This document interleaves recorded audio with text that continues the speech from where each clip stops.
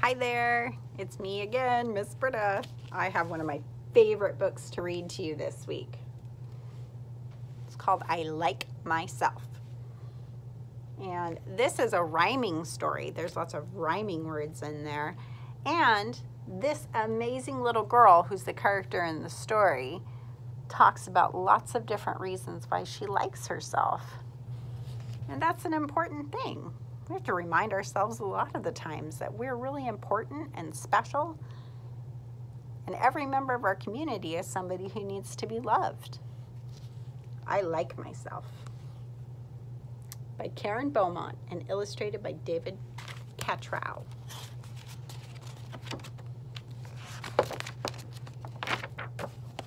I like myself. I'm glad I'm me.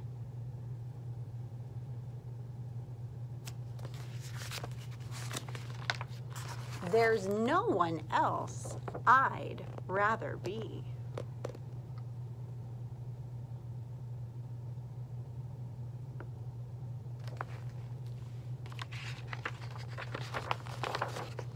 I like my eyes, my ears, my nose. I like my fingers and my toes.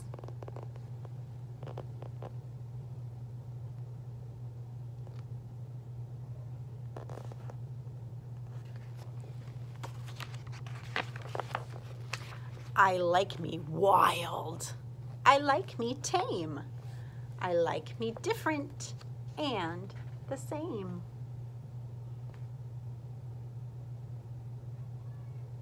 When I read this book earlier in class, some kids noticed that the lion is so intimidated, so scared because she's so wild.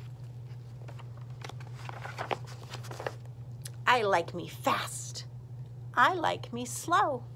I like me everywhere I go.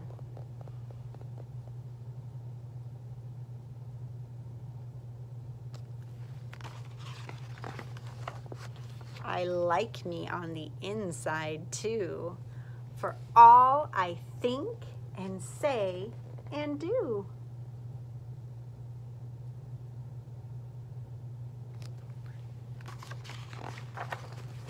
Inside, outside, upside down, from head to toe and all around.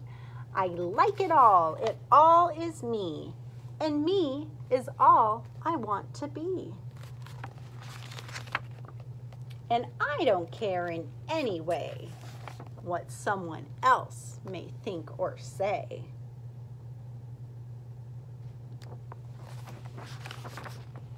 I may be called a silly nut or crazy cuckoo bird. So what?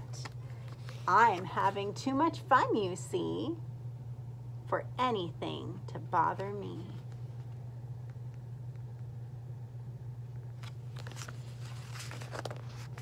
Even when I look a mess, I still don't like me any less. Cause nothing in this world, you know, can change what's deep inside.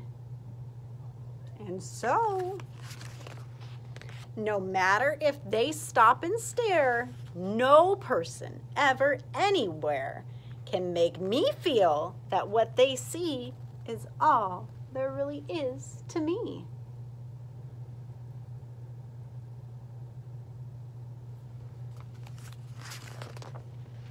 I'd still like me with fleas or warts or with a silly snout that snorts. Or knobby knees or hippo hips or purple polka dotted lips.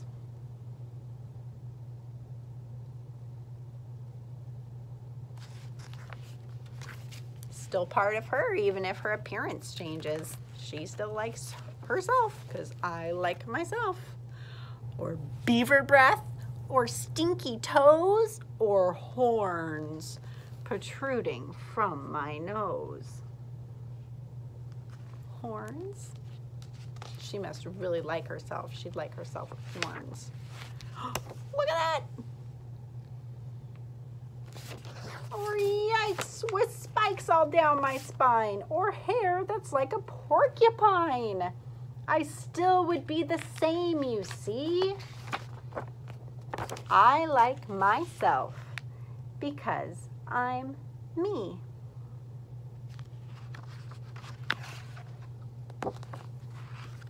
The end.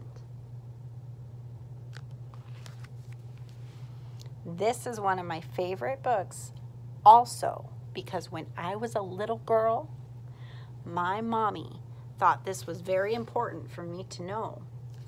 So she would take me on walks to the river every day. And we had a special rock we would stand on. And I would stand up and she would say, Say it, say it. And I would call out, I am I, I am I, and today I can say I'm happy to be me.